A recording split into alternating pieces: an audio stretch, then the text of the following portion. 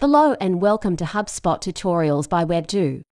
This is Jessica and our today's tutorial is about how to add an unsubscribe link to one-to-one emails in HubSpot. In HubSpot, you can add an unsubscribe link to your one-to-one email sent from the contact record, including any emails sent out through your sequences. This link allows recipients to opt out of receiving such emails from you. Let's see how to enable this feature.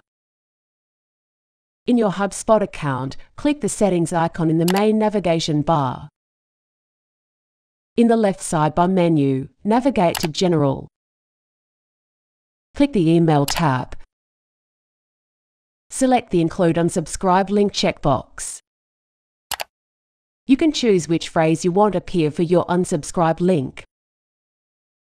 Click Edit Link Text then in the dialog box, and select the radio button next to the link text that you want and save.